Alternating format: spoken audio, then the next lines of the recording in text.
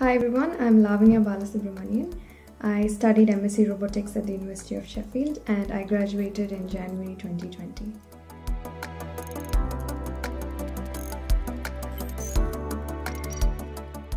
The reason I chose the University of Sheffield was for its research standards and its brilliant student atmosphere.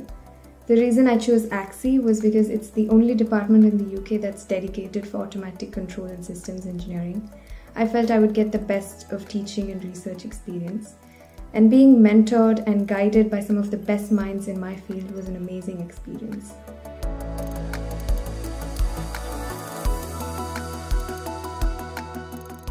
The best part about my time at ACSE was that I felt thoroughly supported and guided by my department in every situation.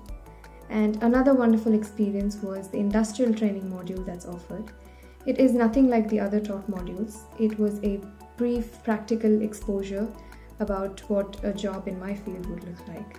So it helped me grow and become industry ready in a very short amount of time.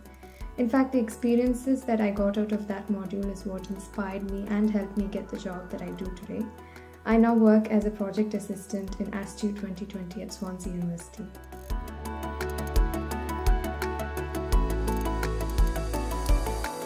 I completed my final project at the Sheffield Biomedical Robotics Lab.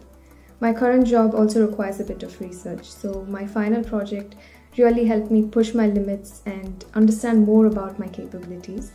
That's when I polished my research skills, my presentation skills.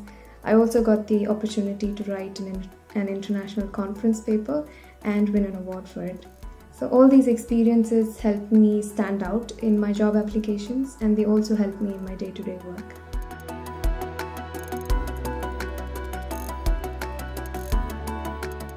My advice is that you are in one of the best departments in the University of Sheffield so make the best out of every opportunity that is given to you, even if it doesn't count towards your final grades. At the end of this exciting and challenging journey, it will feel amazing to look back at all the things that you've tried and learned during your time at ACSE.